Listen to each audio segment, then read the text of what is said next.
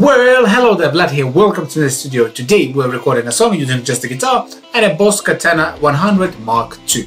I've been familiar with the Boss Katana series for a while now. I've had the Katana 15 in my studio, the Mark 1 version that is, and now I have the Katana Mark II, the 100 watt version. And by the way, this video is sponsored by Boss, but as always, that doesn't buy my opinion, and everything I say in this video are my true, honest opinions about things, sounds, and so. on. One really cool thing about the Katana series and something that doesn't really get mentioned that much is the fact that it's a full-fledged guitar recording studio, which is kind of crazy for the price point. I think the Katana 50 is like 200 euros or so. The Mark 200 watt version is 300 euros, if that. That's kind of ridiculous because this setup that we're doing here is like just a guitar, Harley Benton, Dullahan, headless something something that I have here for a demo and I'm going from the guitar into the Peterson Strobo HD tuner and from the tuner straight into the amp. And that's it. That's the recording rig obviously from the amp. I'm also going via USB cable into my computer. And that's it. That's the whole recording rig and that's what we're going to use here today.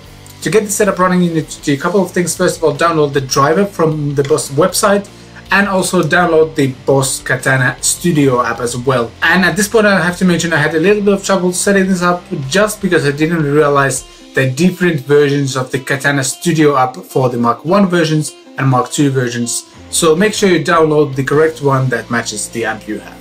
Once I got all the correct drivers and apps installed, it was actually a fairly easy setup. What I love about the Katana Studio app is that you can control everything from the app and actually much more than you could do from the amp itself. And during this process, I don't have to touch the amp a single time. The only thing I did was turn off the speaker on the amp itself and that's it, everything else will happen through the app over there. Before we dive into the Boss Tone Studio app, let's quickly check out what's going on in Logic. We go to audio preferences. First of all, when I plugged in the amp into the computer, it immediately shows up as an input here on my Logic system, which is really nice. Then what you probably want to do is to reduce the input slash output buffer size.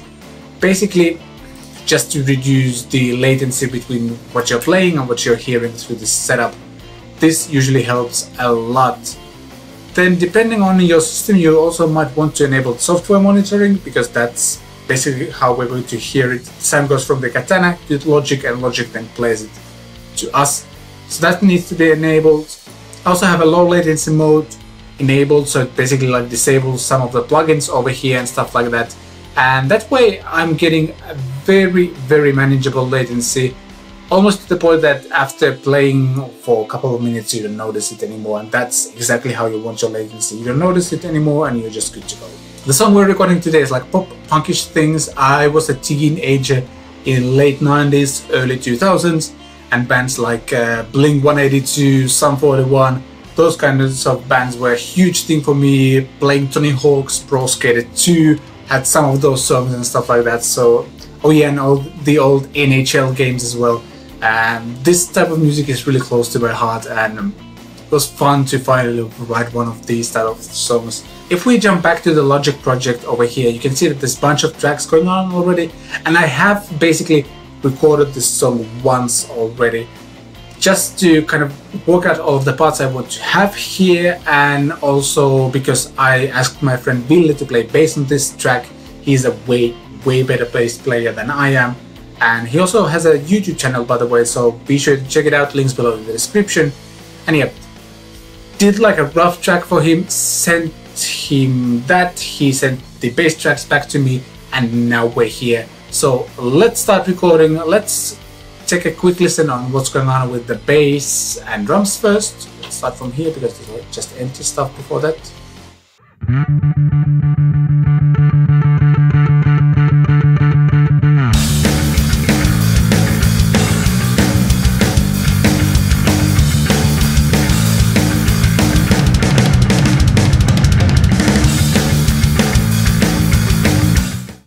Yeah, so that kind of song.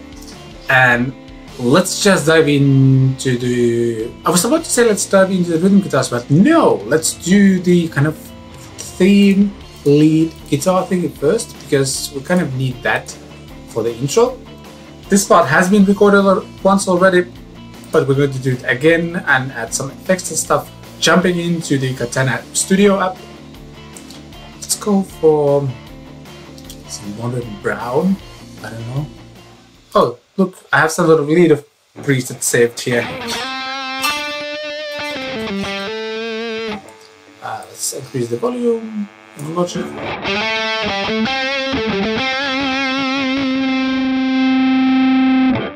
So the lead part goes like this.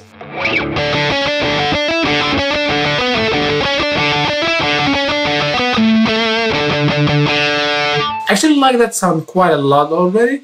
Maybe some light delay or something.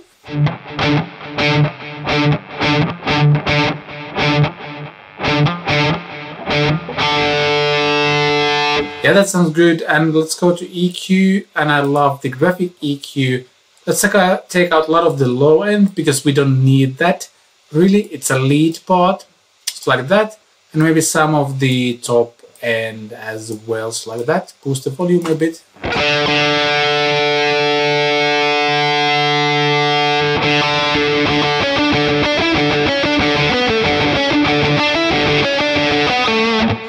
yeah that's nice. It's nice. Maybe even down there a little bit.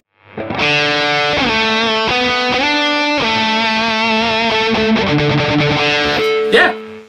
Let's try and record it. Software monitoring on low latency mode on. And let's make a loop over here and let's go. Let's see if the levels are even close to correct. We'll find out soon.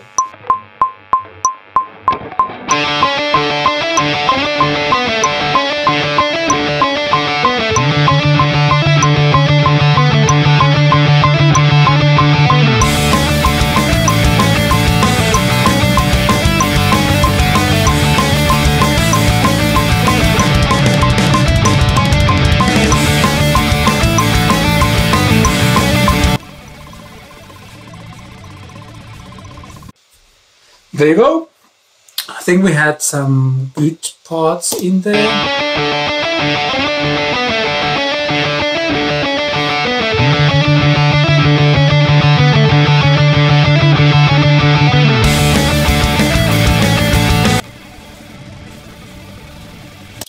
Uh, I'm gonna do that one more time just in case. Be right back. A few moments later.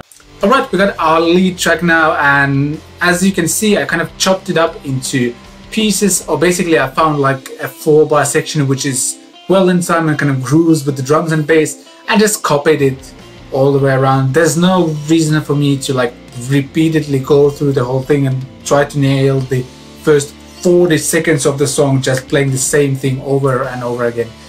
I don't care if it's copy pasted. If you're offended by that, I'm sorry, but that's how I work sometimes. It's effective and you get the same result basically. So yeah, we got a lead line and what we're going to do next is do harmony for that, obviously, because guitar harmonies are beautiful and the harmony only kicks in like in the last verses, so to speak, so it builds up, builds up, builds up and like there's always new things that getting introduced like in the beginning there's just the lead guitar, then there's bass and drums, then guitars, rhythm guitars will kick in and stuff like that. So yeah, that's what we're doing. But let's record harmonies now and then I'll chop them up properly as well.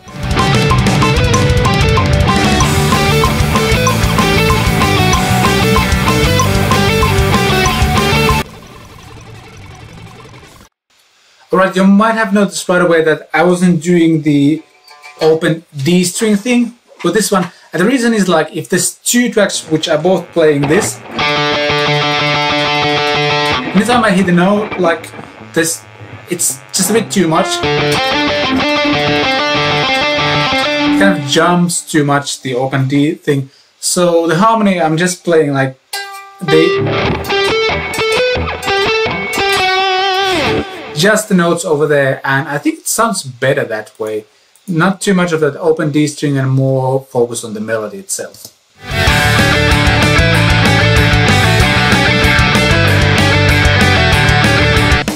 Alright, there's this section I want to wrap. I think it was good. Just copy paste it. Uh, actually, I don't know if there will be that guitar anyplace else than just like the last eight bars we go before we go into like heavy metalish riff thingy. And then there's kind of the same thing repeating here at the end as well. So I'm sorry again, somebody doesn't like this, but I'm just gonna copy paste stuff. Ah, ah, ah, I'm so funny. I'm so incredibly funny. There you go. We got our lead guitars now. Alright, rhythm guitars. I don't hear anything because I need to go to rhythm guitar tracks and let's start with this one. Here you go, unmute it, enable it. Obviously we're on my lead sound right now, so let's go to headless rhythm. I have actually saved a preset for this one. But for whatever reason it has reverb and delay on it, which I don't need because it's a rhythm track. It's pretty close, but I need my booster. Less bottom end because it's a rhythm track and we have a bass guitar. Maybe a little bit more.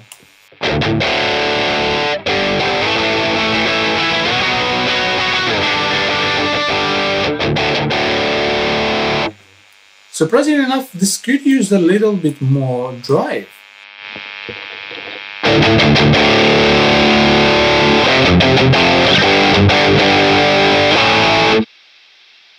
Nice! Let's get tracking!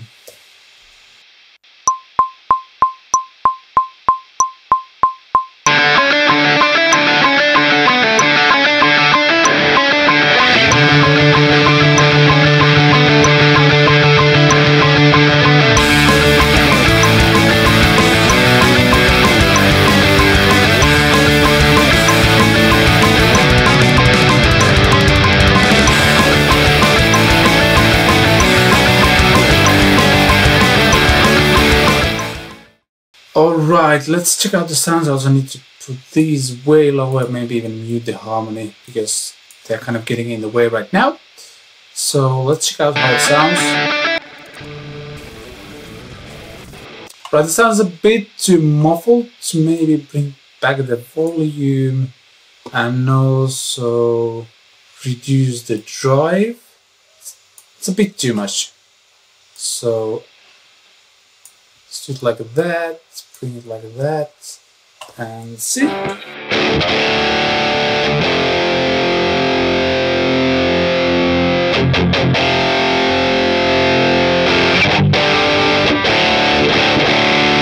Yeah, definitely more definition already. Maybe bring down the volume even more, and then yeah, let's check out.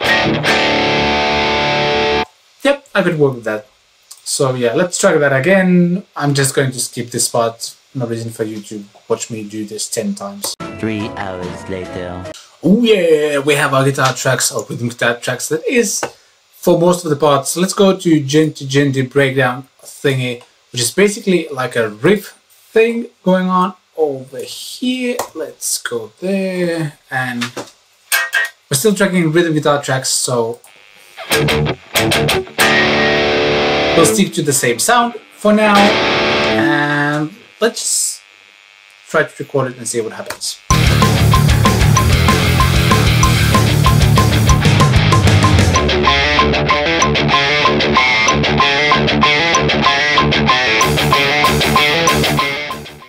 So that's the riff. I think I want to do it again one or two times more. That's English. I think, yeah, skipping to the next part, but I'll be recording here now to just get it right. Alright, the last thing I want to do is to add some sweetening parts, so to speak, like the way I want to have my song is like there's always new elements being introduced so it stays interesting. And here in the beginning, I kind of want to do some octave guitars, like very traditional. Let's go over here, this, unmute it. Let's take the solo, something like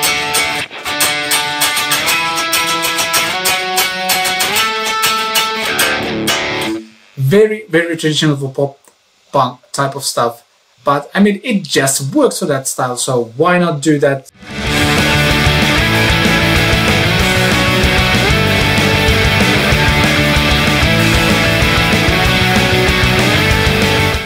See, that's a super nice little addition there. No wonder why pop pop pop punk guys use it a lot. Uh, I might cut it from here somewhere and use it only at the end of this run, but I'll keep it there just in case. I'll track this again and then I'll double track it for the other side as well. And I'll be back once both are done. Three days later. One last thing I want to do here at the end is where I have we have this riff, where I have we have somebody has this riff.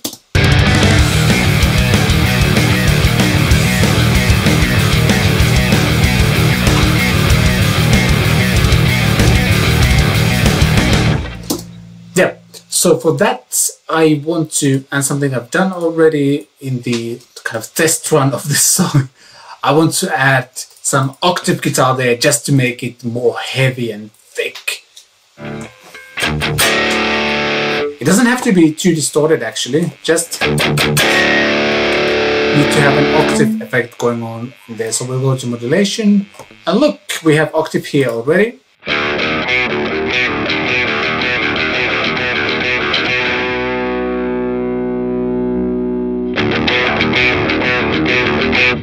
yeah, I like that. That will make the whole part sound heavy. Yeah, let's start recording.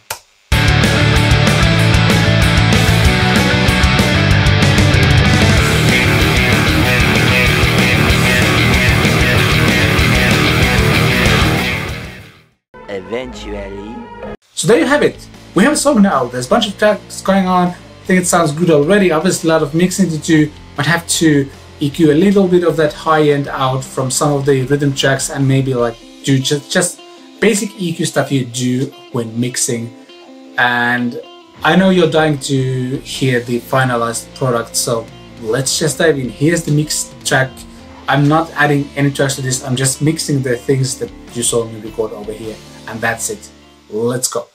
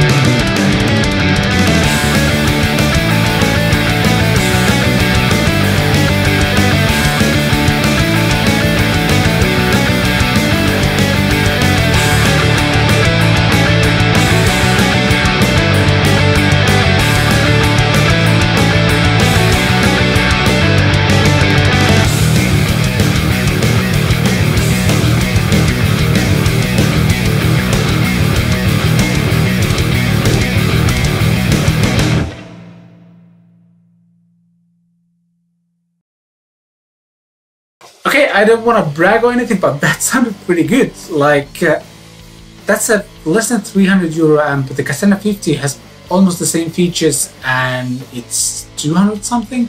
That's just ridiculous. I wish I had something like this when I was starting out, just guitar playing or recording, that is.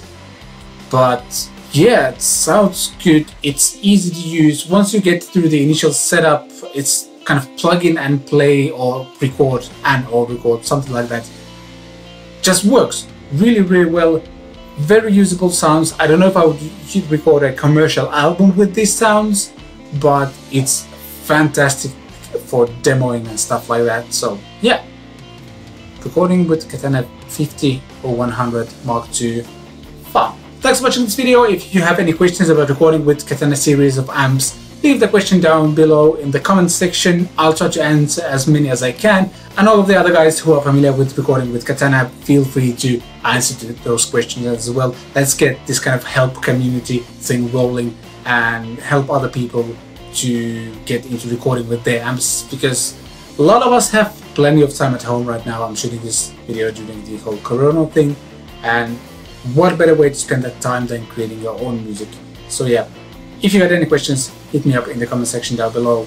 And if you want to support what I do, I got t-shirts, mugs, that kind of stuff available at my Teespring store. You can buy my jam tracks. And if you want to see more content in the future, hit the subscribe button and the notification bell as well. Thanks for watching this video. I shall see you next time.